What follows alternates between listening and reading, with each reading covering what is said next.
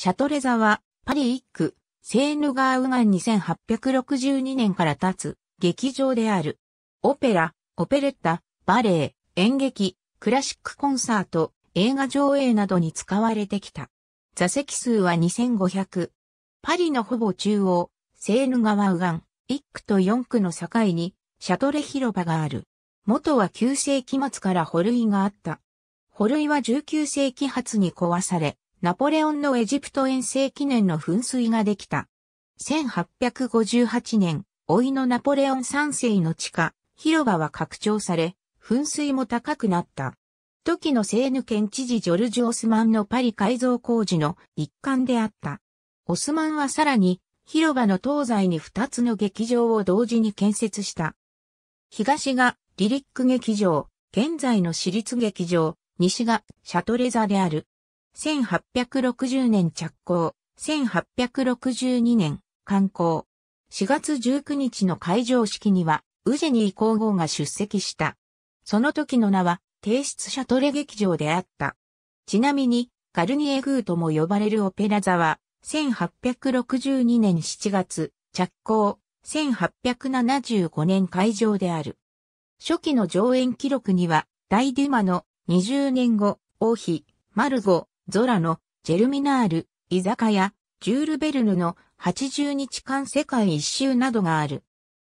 1876年からエドゥアール・コロンヌのコンセール・コロンヌ管弦楽団が本拠を置き、チャイコフスキー、グリーグ、アール・シュトラウス、ドビュッシーらが自作の棒を振った。1900年にはマーラーがウィーンフィルを引き連れ自作を披露した。オペレッタもバラエティショーもバレエもそして1906年には映画も上演した。1909年5月19日がディアギレフラのバレエ公演の蓋開けである。その数日後にはパリに二度目のヒョードル・シャリアッピンがリムスキー・コルザコフのプスコフの娘をイワン・ライテイの題名で歌った。その後、方々の劇場で1929年まで続いたバレエリュスは20世紀初期の舞踏、音楽、美術の共演であった。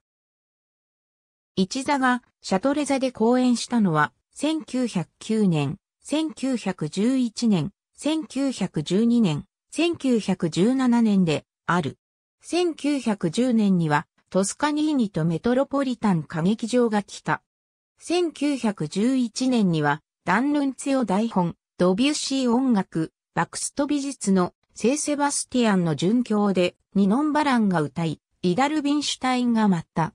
その後、演目が豪華なオペレッタに偏った時代があった。1979年、市の要請で改築工事を行い、翌1980年にパリ音楽劇場と改名し、市の管理下に入った。1988年、1999年にも改装し、1999年からシャトレザの名に戻った。